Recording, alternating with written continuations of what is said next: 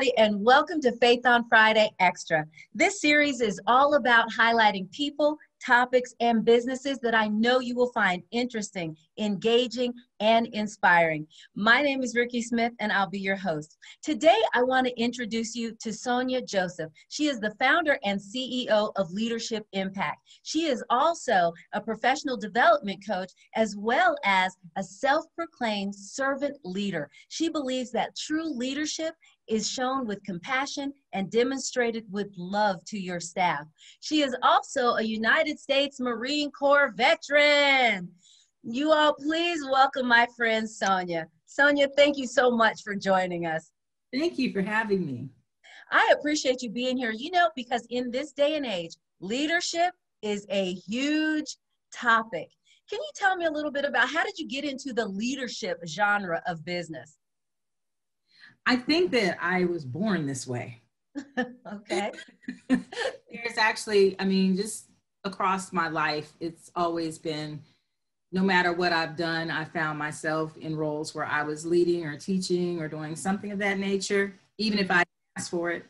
I've never right. really wanted to lead anything. I like being in the background, but I don't know. Maybe the Lord is pushing me in front, but hey, and that's not necessarily a bad thing. You know, it's so funny when you said I was born this way, and it made me think how many of us as women are in the leadership roles, and we were born that way. But when we were little girls, they called us something else. Oh yes, bossy. There it is. they called us bossy. Don't be smarter. Don't be faster. Don't. Yeah. But look at us now, right? Yes. Yeah. You know, I mean, something that you wrote in your bio, I want to read it because I really want to talk about this. I thought it was so incredibly powerful. So let me read what you said. You said that your passion for leadership has caused you heartbreak because of the things that you witnessed about how drastically poor leadership can damage people and organizations. Can you talk about that a little bit? Can I say, look at our country right now? Well, well. I mean, you know, and the choir said, Amen. But, anyhow, you know, I it, it, it's just always when I was a corporate trainer, I used to go out in the field with sales reps, hmm. and many times, a lot of our conversations would revolve around their managers, their frustration, their disappointment, so forth and so on. So I started to learn that even though these people were put in management roles, they were not necessarily equipped to lead. Oh, that's good. Not always their fault. Mm-hmm. People do their job well, and they get promoted, and they right. get people put under them, and then they're supposed to know how to lead. When all they know how to do is show you, this is how I did it, so you yeah. do it this way too, and it doesn't work that way. Right. So that's, what you're saying is there's a difference between being in front and being a leader.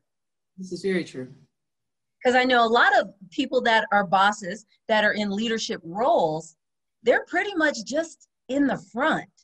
And a lot of times being in the front can also be equated to being in the way. So now how do you go about training leaders to lead as opposed to just being out front? It's it's your mindset. Oh wow. Go into this. People get promoted many times or they're evolving to these roles and they see it as power. Mm. And it is power. Mm-hmm. But will you use that power? Right. Are you going to use it to just push people, force people, drag people? I don't know. Or are you going to inspire, encourage, develop? And a true leader does that. They inspire people, they encourage them, they coach them, they develop them. They make those people better than they were when they first met them. Oh, that is so good. So let me ask you can anybody be a leader or do you have to be born that way? I think that anybody could be a leader if they have the proper motivation and the desire. Mm-hmm. You know, people can learn how to do things. Some people it comes naturally, and some people it requires a little bit of coaching and development and really kind of tapping into that part of themselves. But you have to be humble, and you have wow. to be willing to learn, and you have mm-hmm. to be willing to listen. And if you do that, I think that most people are capable of becoming a leader. Okay, so I want everybody to be able to write this down. So, in order to become a good leader, you have to be willing, I love that, willing to learn and willing to listen. And what was the third one? Be humble. and be humble. Wow. How many leaders, leaders do we know to be humble? Leaders, leaders need to be able to follow. If you can't follow anything or anyone, you can't lead. You are doing a whole bunch right now. So I probably have leaders right now going, wait, what happened? wait, I have to be humble and I have to listen? I can't with you right now.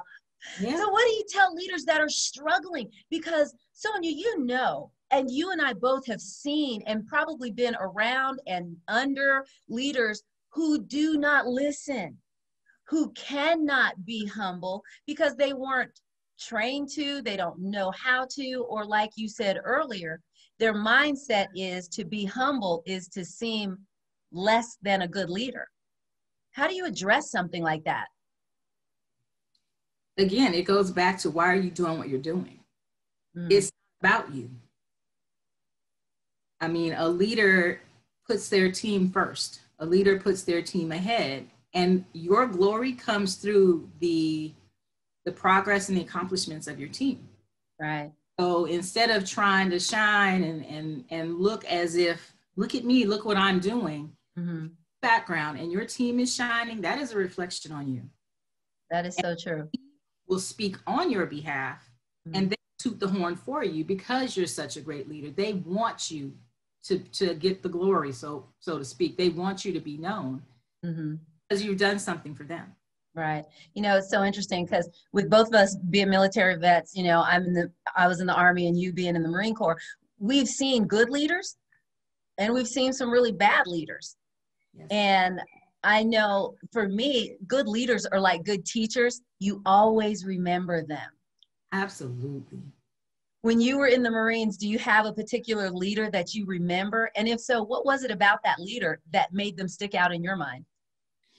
Um, well, the one that's sticking out in my mind right now, um, she wasn't really, I wasn't a fan.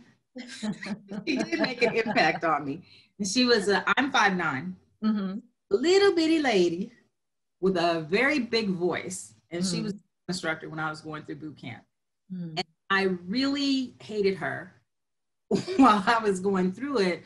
But in retrospect, especially as I've gotten older and I think back on it, mm-hmm she did her job.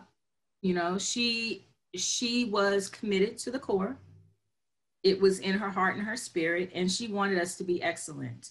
And when you're, you know, 18, 19 years old, you don't get that necessarily. Sure. But after going through life a little bit, I understand exactly what she was doing. She did make an impact and a very strong impression on me. Mm-hmm.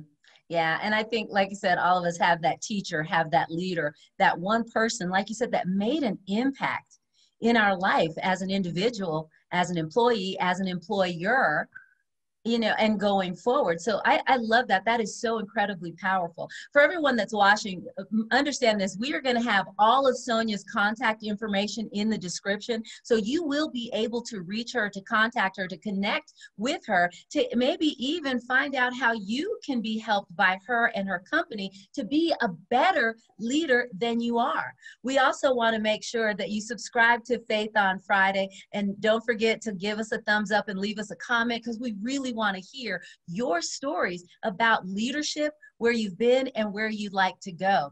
Sonya, you know how we do this. If you've ever seen the Faith on Friday extra series, we have to play a game. Yes. Our game is called This or That, and it's pretty simple. It's just a way to get people to kind of know you a little better. So I'm going to give you a choice of two things, and you just tell me off the top of your head which one you like the best. Are you ready? Gotcha. Ready. All right, here we go.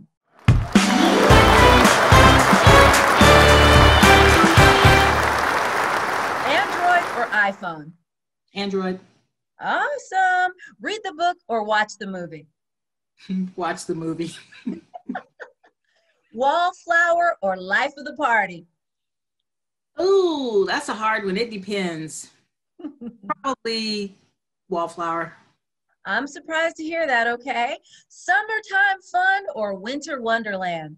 Ooh, definitely summertime. Yeah, me and you both, girl. Eat to live or live to eat? I probably live to eat. Outside in nature or just inside the house? If it's summertime, outside. Coke or Pepsi? Pepsi. Drive or ride? Ride. I like sports or I don't care? I don't care. and when you were a teenager, what was your first job? I worked at McDonald's.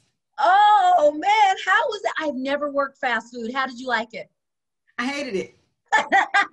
but but you got free food and you know that whole living to eat. Yeah it yeah. served your purpose. That is perfect. Sonya, thank you so much for joining us. I appreciate you and I appreciate your insight. This is going to go a long way, and I hope that people will at least contact you because, y'all, she's got a lot left to say. So, Sonya, thanks so much for being here. Thank you, Rikki. All right, everybody. My name is Rikki Smith, and we'll see you next time on Extra.